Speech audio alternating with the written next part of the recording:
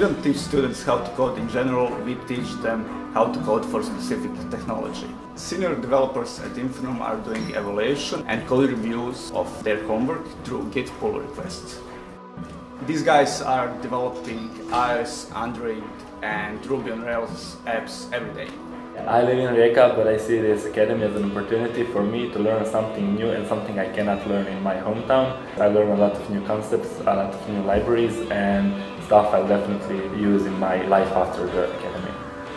I signed into this academy because I like to uh, work on other people's problems and solve them with my programming skills.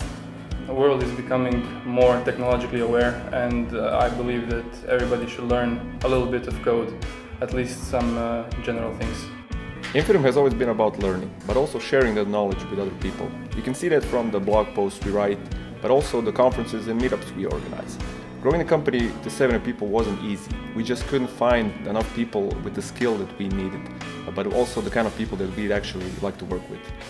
At one point, we went after hiring people we wanted to work with, but we were in essence good programmers. Then we set out to train them in the art of mobile and web development.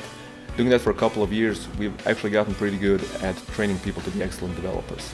And this is how the idea for Infinum Academy was born.